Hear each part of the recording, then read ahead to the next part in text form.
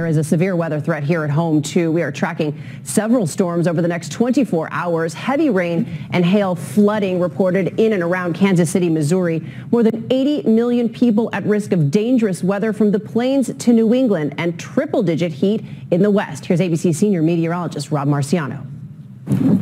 Extreme weather punishing the heartland this weekend. Hard-hitting hail shattering this car windshield in Missouri. And in Kansas City, lightning tearing through the night sky as residents run for cover.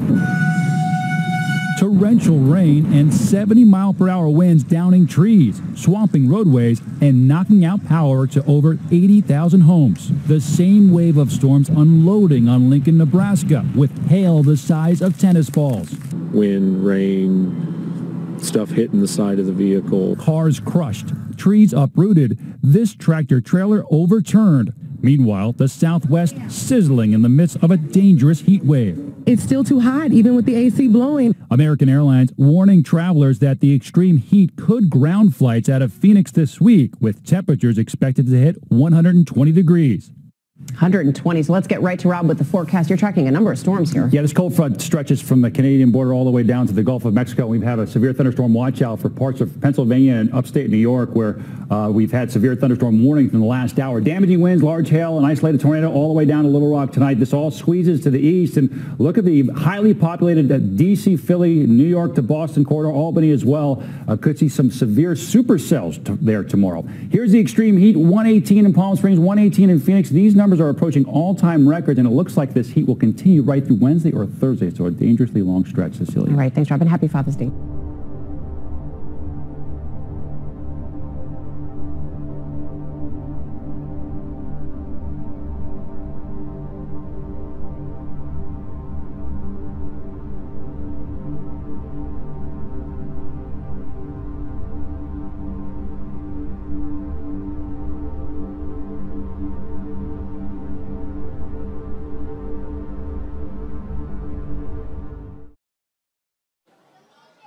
The water cycle.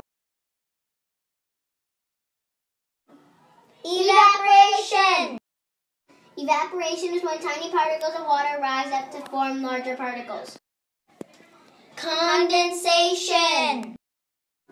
Condensation is when the particles grow to form clouds. Precipitation. Precipitation is when the clouds get too heavy and then it will rain. Transpiration. Transpiration is when all the rain is finally about to touch the ground.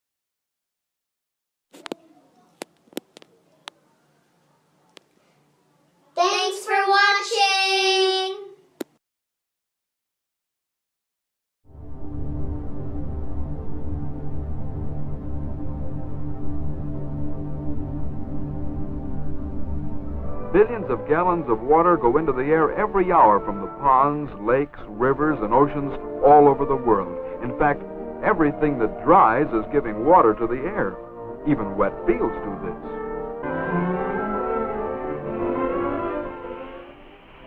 Yep, there's another way water can get into the air. The water on the doghouse roof dried pretty fast in the warm sun. This water disappears faster because the stove is hotter. The cloud from the spout of the tea kettle is condensation of the water vapor from the tea kettle hitting the colder air.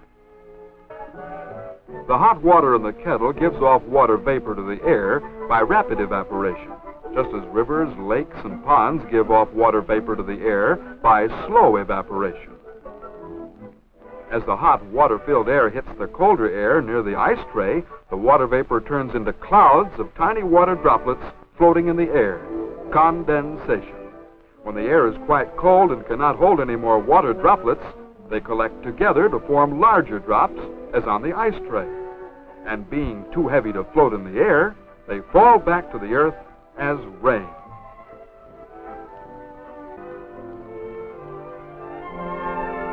The hot water in the kettle gives off water vapor to the air by rapid evaporation just as rivers, lakes, and ponds give off water vapor to the air by slow evaporation. The hot water in the kettle gives off water vapor to the air by rapid evaporation, just as rivers, lakes, and ponds give off water vapor to the air by slow evaporation.